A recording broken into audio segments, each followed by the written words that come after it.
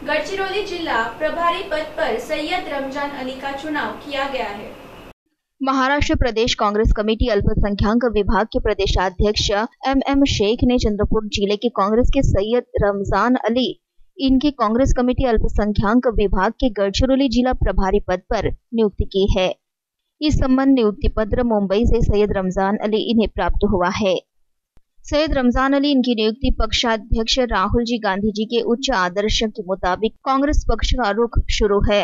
Nadeem Javed, chairman Akhil Bharatiya Congress committee, अल्पसंख्याक विभाग, अशोक राव जी चौहान, अध्यक्ष, महाराष्ट्र प्रदेश कांग्रेस कमेटी, इनके मार्गदर्शन में राहुल जी के दृष्टिकोण से समाज के सभी स्तर के विशेषता हर व्यक्ति तक कांग्रेस पक्ष पहुँचना ज़रूरी है। और यह विचार लेकर महाराष्ट्र कांग्रेस कमेटी, अल्पसंख्याक विभाग का काम शुरू है। इस संदर्भ में सैयद रमज़ान अली इन पर महत्वपूर्ण ज़िम्मेदारी सौंपी गई है और अली इनके नियुक्ति के बारे में हार्दिक अभिनंदन व्यक्त किया गया है।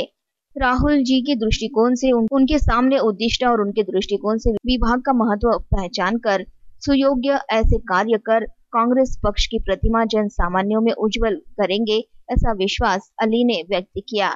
अली इनकी नियुक्ति के बारे में चंद्रपुर और गढ़चिरौली ज़िले के अनेक पदाधिकारी और कार्यकर्ताओं ने उनका हार्दिक स्वागत किया है।